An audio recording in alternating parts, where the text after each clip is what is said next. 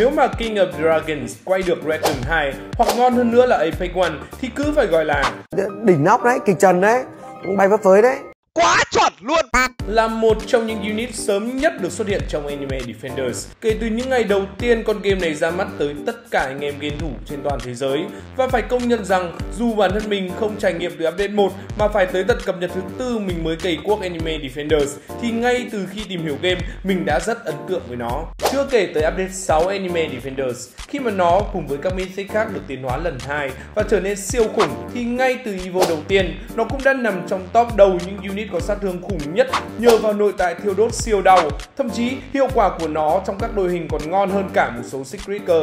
Thế nên tất nhiên cũng giống như mấy unit trong các video trước thì vua rồng cũng được anh em hết sức quan tâm và liên tục đặt câu hỏi dành cho mình kiểu như này này. Anh ơi, King of Dragons thì lên 100% DOT dam hay là 30% dam và 50% DOT dam với anh? Anh ơi, King of Dragons thì nên nâng skill tree như nào á? Anh ơi, em nên dùng King of Dragons, Almighty hay Requiem á? Và nâng skill tree nên dùng cái nào á? King of Dragons cho skill tree thì mới mạnh à anh? Anh ơi, con King of Dragons nên đi nhánh nào phù hợp với anh? Anh ơi, Dracula với King of Dragons nên có skill tree nào với anh? Với cả em đang phân vân không biết nâng skill tree phần DOT của King of Dragons. Phải nói là đề nghị làm video phân tích cũng như hướng dẫn tăng cường sức mạnh cho King of Dragons cực kỳ nhiều luôn. Bởi vậy, chắc chắn rồi, hôm nay chúng ta sẽ cùng nhau nghiên cứu về unit cực ngon mà lại vô cùng dễ sử dụng này thôi. Chào mừng mọi người trở lại với chơi game của bố nút và lại là mình Quang đây cực kỳ công nghiệp nhưng lại hết sức thuyết phục. Anh em đang muốn sở hữu những unit ngon nhưng bản thân lại không có thời gian farm, muốn mua các vật phẩm nâng cấp hay kể cả đội hình cực mạnh nhưng anh em ngại nó mắc, không có sàng nạp game. Thế thì còn chờ gì nữa mà không check ngay bio của một nút ở bên dưới bình luận bởi anh em sẽ có thể tìm thấy ngay mọi thứ giúp lột xác đội hình của bản thân chỉ tốn chưa tới một ly trà sữa nữa. Quá hời luôn nào phải không anh em ơi? quá chuẩn luôn Trước khi vào nội dung chính của video ngày hôm nay, mình xin một ít phút để khảo sát một chút về anh em nhé.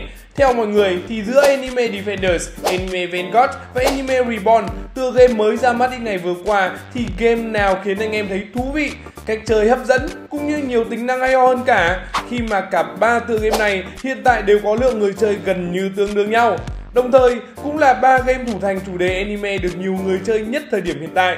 Anh em hãy bình luận ý kiến cá nhân của mình dưới đây nhé. Và đừng quên đi kèm tên nhân vật Roblox của bản thân Để chủ nhật tới đây mình còn quay số may mắn đấy. Ok, trò chuyện trao đổi lấy ý kiến của anh em ở đầu video thế thôi nhở. Giờ thì trở lại với cả King of Dragons Và điều khiến nó luôn ở top đầu meta trong Anime Defender Update 8 thôi.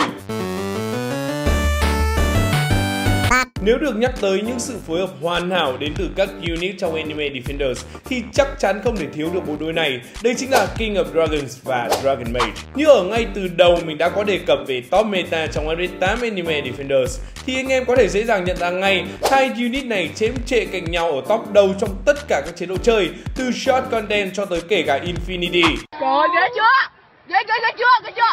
Ghê chưa? Có thể có rất nhiều bảng xếp hạng khác nhau mà anh em có thể dễ dàng tìm được trên YouTube. Nhưng đối với các unit khác thì mình không biết. Chứ còn hai con unit hệ rồng này kiểu gì thì kiểu chúng cũng sẽ chắc chắn góp mặt trên cùng một bảng xếp hạng. Nhưng có một điều rõ ràng rằng không phải chỉ mạnh mà chúng còn bổ trợ cho nhau rất nhiều. Thế thì mình mới dám nói đây là một cặp đôi hoàn hảo chứ. Bởi nếu anh em soi vào kỹ năng nội tại của cả King of Dragons lẫn Dragon Mage Chúng ta sẽ thấy nếu như một mình Dragon Mage có thể tăng 50% burn dam cho tất cả unit xung quanh phạm vi công kích của nó. Và tương tự như vậy, thì King of Dragons với mỗi con đặt xuống cũng sẽ tăng 20% burn dam như vậy, nếu tức là bản thân vua rồng không tự buff được cho nó thì nó sẽ nhận 50% của Dragon Mage cộng với 40% của hai con vua rồng còn lại để có được tổng 90% burn dam. Và đương nhiên, nếu nó tự buff được cho chính mình thì kiểu gì nó cũng sẽ là lớn hơn 100%. Còn chính Dragon Mage cũng sẽ nhận đủ 60% từ ba con vua rồng. Anh em cứ hình dung, chưa cần làm gì thì bản chất mấy con này đặt cạnh nhau cũng đã mạnh khủng khiếp rồi phải không nào? Đúng đúng đúng hợp lý. Thế nhưng đương nhiên Burnham mới chỉ là một phần trong sức mạnh của vua rồng. Bởi nếu soi xét kỹ hơn vào bộ kỹ năng của nó thì anh em sẽ thấy rằng tại sao lôi nó đi chế độ nào cũng vẫn cứ là ngon luôn. Đầu tiên với chỉ hơn một ngàn tiền để có thể đặt được trên bản đồ thì rõ ràng rằng King of Dragons luôn được ngồi chung mâm với tất cả unit death đầu game chưa kể, kỹ năng ban đầu của nó cùng với tốc độ tấn công rất nhanh, chỉ khoảng 3 giây, khiến vua rồng vô cùng hiệu quả khi cần unit tạo ra sát thương ổn áp ngay từ đầu game. Và ngay kể cả khi anh em max cấp độ cho nó, thì ba con King of Dragons cũng spam skill cực kỳ ổn, cùng với 10 hit trên mỗi đòn tấn công, chưa kể 5 tick burn dam cộng dồn với 20% mỗi tick, khiến nó có thể tạo ra sát thương lên tới 100% sức mạnh vốn có. Hay nói dễ hiểu thì đây chính là khi anh em up cho nó từ level 10 đến 11 thì tức là lúc này King of Dragons cứ phải gọi là mạnh x2 luôn. Đấy, như vậy thì từ đầu game cho tới cuối game, vua rồng đều có thể đảm nhận được cực ngon vai trò của nó. Thế thì bảo sao mà anh em lại quan tâm nhiều đến vậy? Mặc dù chỉ số trông có vẻ lèo tèo nên một số anh em có thể chưa hiểu rõ, đã vội vã đánh giá thấp và loại nó ra khỏi đội hình. Nhưng thực chất, sức mạnh thật sự của vua rồng nó nằm ở burn dam cũng như cả quả kỹ năng nội tại tạo ra 800% sát thương trong 5 hit kết hợp với cả burn dam thì tức là nó phải tạo ra một lượng cực lớn thiêu đốt lên kẻ địch trong phạm vi công kích. Quả thật là quá là khủng khiếp. Mà đó là mình còn chưa đề cập tới cây kỹ năng đấy nhé. Nên từ update 6 khi mà Flame Dragon God được tiến hóa tiếp trở thành vua rồng nhiều anh anh em đã hết lời tung hô unit này, lướt YouTube ra cả đống luôn. Anh em cứ thử mà xem. Chính vì vậy, mọi người mà đi đúng đường cho King of Dragons thì khỏi phải bàn luôn.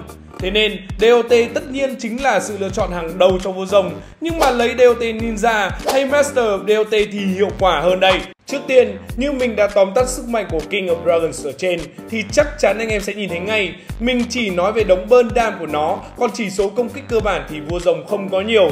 Như vậy, anh em thử nghĩ xem nếu mà đi đường ninja để lấy Elemental Ninja thì tức là anh em đồng thời sẽ có được tổng 35% đam cộng thêm và 70% DOT đam cùng với cả 10% boss dam, giảm ngay 10% thời gian hồi chiêu và 15% crit chance cùng với 5% khoảng cách tấn công. Tức là anh em sẽ có 156,8% DPS được tăng thêm cùng với cả 182,4% boss dam thì chắc chắn base dam của nó sẽ ít nhiều ngon hơn. Và nếu anh em chọn đi đường này thì tức là mọi người sẽ dồn sức mạnh của nó vào kỹ năng nội tại Flame Nook khi mà kỹ năng này sẽ dồn một lượng lớn công kích để nhân 8 lần sát thương gây ra lên quái. Thế nên 35% dam cộng thêm khi chọn DOT Ninja sẽ thực sự phát huy được tác dụng của nó ở trong trường hợp này.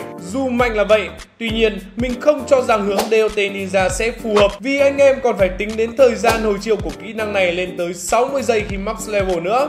Tức là vẫn phải chờ đợi. Thế thì tại sao không đi hướng Master of DOT để lấy Elemental Master nhỉ? Lúc này ngoài mấy chỉ số từ mấy skill đầu cộng thêm thì anh em chắc chắn sẽ có 120% DOT dam, 10% boss dam và 5% base dam. Đường này không chỉ khiến sát thương của anh em đều ổn định và cộng dồn được nhiều hơn nhờ 120% DOT cùng với tận 90% burn dam nếu không được tự buff và 110% nếu tự nó buff được cho chính mình, thì thiêu đốt cứ phải gọi là cực đau luôn.